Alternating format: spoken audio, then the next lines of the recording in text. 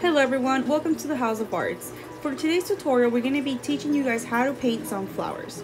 In front of me, we have some materials we're going to be using throughout the video.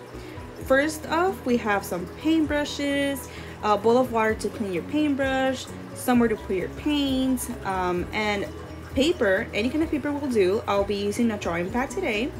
We will also need some paint, and you guys can choose your own paints and your own colors. Now in front of us, we're gonna have a pre-made painting of the flowers. I went ahead and did it for you guys so you guys can have an example. Now, our first step is taking out the piece of paper. We're gonna head and put the painting aside and we're gonna focus on the white piece of paper. And we're gonna take out the first material we're gonna be using, which is the paintbrush. Um, you guys can choose any paint, any brush. Uh, now we're gonna take out the paint. So I choose again the red and the pink. And don't forget also the green for the stem. And now we're gonna put those aside for right now and we're gonna focus on the white paper.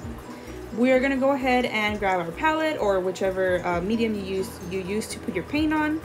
And we are gonna hit we're gonna go ahead and start our painting.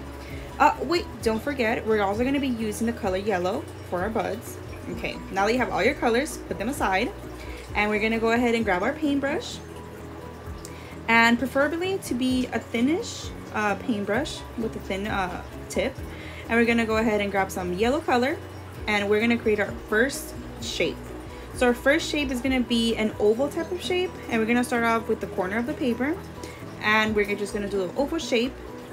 We are gonna go ahead and spread them throughout the paper. You choose your location as many flowers as you wanna make.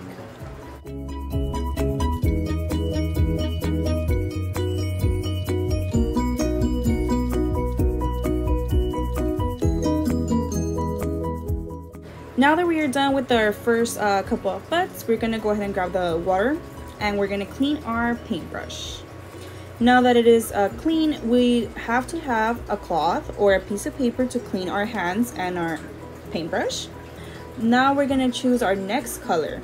So we're gonna start off now with the petals of the flower and we're gonna be creating them facing down. So our flower is facing up and the petals are going down. So now we're gonna start from the tip of the bud, we're gonna bring it down and then back up again, also creating a oval shape, but longer. And we're gonna go ahead and put another one next to the first petal. And we're gonna do the same thing to the other side. And then to the other side. And finally, we're gonna have our shape of a flower. There you go, guys. We have our first flower. Now we are gonna go ahead and do it for the rest of the buds.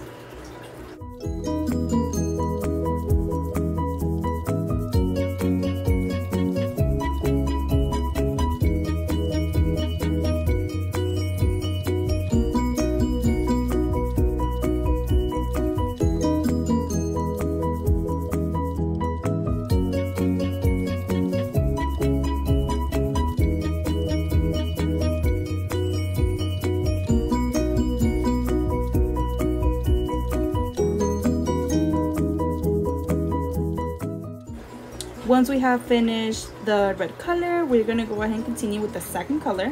Um, I chose pink. And now we're gonna do the same thing we did for the first flowers for the rest of the buds.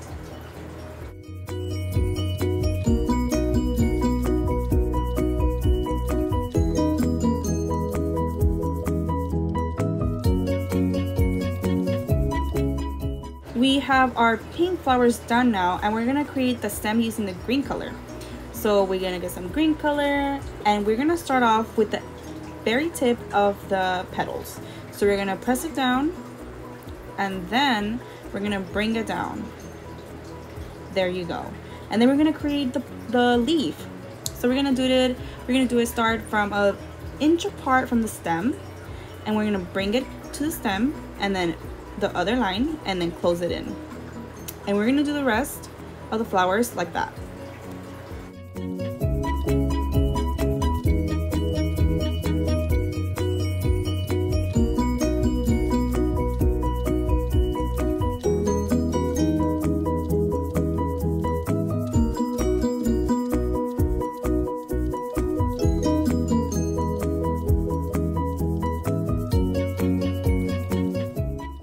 there you go guys. You have created your first flowers. Now if you guys want to add a little bit more details on your flowers to look more realistic we're gonna go ahead and add little dots to our buds. So we're gonna go ahead and get the color brown. We're gonna pour some down on our palette and we're gonna grab some with our paintbrush. But remember guys just the very tip because we want to create little dots. Now, once we have our brown color in the tip of our paintbrush, we're going to choose one flower and we're going to lightly press it down on our paper. Make sure not to press it hard because then it's going to create a bigger circle. Now we're going to do the rest of those dots on the rest of the flowers.